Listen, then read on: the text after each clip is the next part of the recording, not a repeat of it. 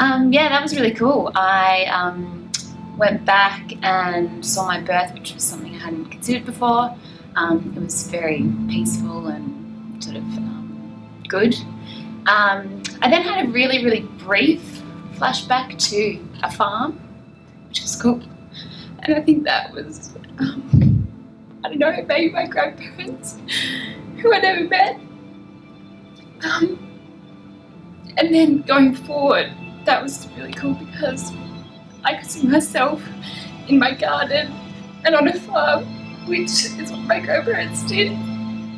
Um, and in the future it was all yellow and green and um, and I could see myself living to a very old age, but then living beyond that, but as myself, not as anyone else, um, and with the people that I love. That was really cool.